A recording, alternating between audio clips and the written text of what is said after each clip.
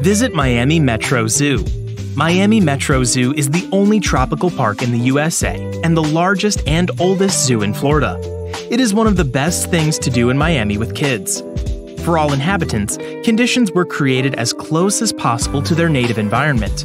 Visitors can watch the show of drawing elephants and feed a giraffe.